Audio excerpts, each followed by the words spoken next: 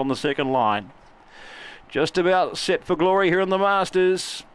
The red light turns green. There's the way from the starter, and here's the lure up to the boxes. Race 11. Favoured in two.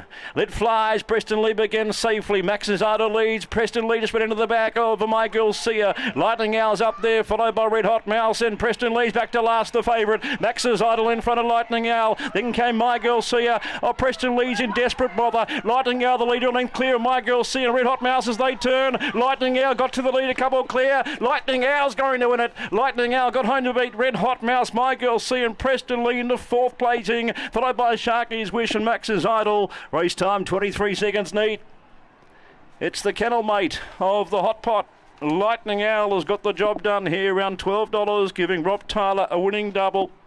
Preston Lee got into all sorts of bother there. He began okay, but he got a squeeze down the back. He popped out the last, and the race was all but over then. Eight, the winner, Lightning Owl. Three is second, Red Hot Mouse. Six is third, My Girl Sia. 8, 3 and 6, 677, 1192. Run home 11 and 14. The time 23 and 06. A length by three quarters.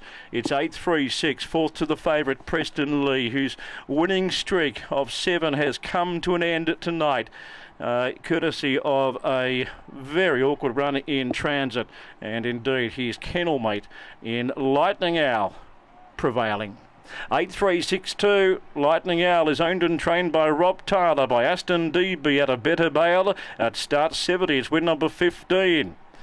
Second in the race goes to Greyhound number three, Red Hot Mouse for Johannes Vanderberg. And third to number six, My Girl Sia.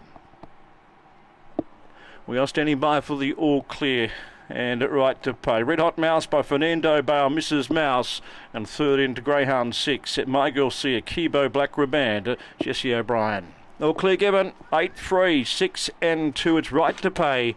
We have one to come, and it's $1.70, Bundy and Solar.